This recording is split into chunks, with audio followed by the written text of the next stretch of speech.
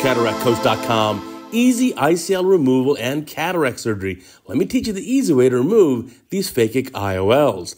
Now, here's a patient who had the Visian ICL implanted about a decade prior. Now, you can tell this is the older design because there's no central aperture for fluid flow. So, we've got an older design ICL here in the eye. Obviously, a very, very myopic patient, minus 16 or 18 or somewhere in this, in this range. Now, we're making our incision here temporally using a diamond keratome. And remember, when this IOL, phakic IOL, was implanted in the eye, it was also implanted with a temporal incision. So if you look at this lens, which has a round optic, but the overall haptic size is square or rectangular, this rectangular shape is oriented at the patient's 3 o'clock to 9 o'clock. So here, using a Sinskey hook in this little eyelet to bring the two foot plates here above the iris, and now trying to do the same on the other side, so again, just using a Sinskey hook here. Now be careful, don't damage the anterior lens capsule. That's an issue you can have if you're a newbie resident or, or, or learning surgeon. You don't want to poke through that eyelet because if you damage the posterior capsule, you're going to be in a world of trouble later. So now once you've got that lens kind of freed up and brought above the iris, here's the trick. Rotate it in the eye about 90 degrees. Yeah, that's the secret. Because look, now it's so easy to grab the optic edge or the lens edge here with these forceps. Get a good grip there. Take a little bit of time. Make sure it's a nice strong grip. And once you have that strong grip, you can just pull it out of the incision. And now in your second hand, use another tying forceps to help grab it. And you can explant the whole thing just like that. See, by rotating at 90 degrees, it gives us much easier access.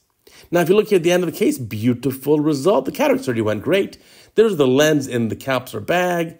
This is a very special order ultra myopic lens. Here's some triamcinolone just to quell any post-op inflammation.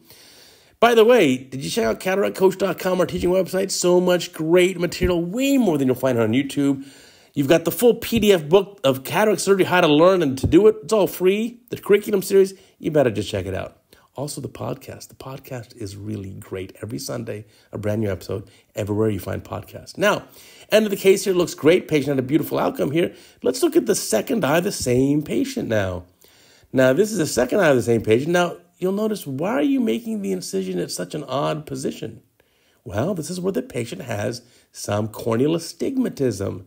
So we want to make that incision on that steep axis, and that means you, as the surgeon, scoot your chair around a little bit. So again, putting a little viscoelastic know, earlier on. Now it's going to use an instrument like a Sinskey hook or something else to help free up the lens. Now, you just take your time on this. Go in that eyelet. Don't go too deep. Barely go into it. And pull back. And you see, I don't want to go too deep. So it may slip off a few times. That's okay. Be patient. But if you poke through the hole all the way, you will damage the anterior lens capsule. You have to avoid doing that. And remember, it's just this is a fraction of a millimeter separating success and failure here.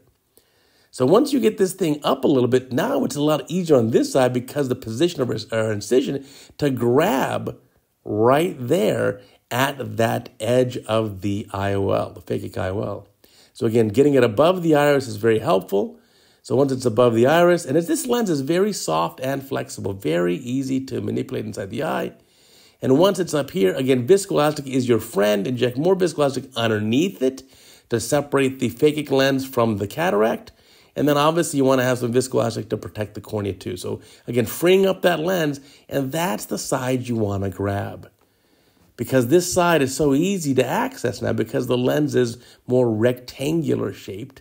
So it'll be easier to grab over there. So, you know, move your forceps around, get the lens rotated a little bit. And once you get a good grasp here, you can pull it out of the eye. Now, take your time with this. Sometimes you want to use two hands, like here. I'll use two hands just to make sure I get a good grasp of it. There you go. Once you get a good grasp of the uh, um, edge there of the lens, now you can get rid of that Sinskey hook from the other hand and get some forceps. But I wanted to show you the whole video unedited. It takes a little bit of time to get it right. You got to be patient here. And you can pull it out of the eye and here the tying forceps to help deliver it. And now pull, pull, pull, deliver that out. There it is. Very nicely done. Now just do your cataract surgery as usual. Remember, these are very highly myopic eyes. There's a whole section on Cataract Coach how to do these myopic eyes. And you can see this eye, just like the first, beautiful rhexis overlap, perfect position on the IOL, very nice outcome. And in this patient, we aimed for a little bit of post-op residual myopia because that, as you know, is a gift. Heck, even I'm a little myopic. Remember, new podcast every single week on all podcast services. Check it out.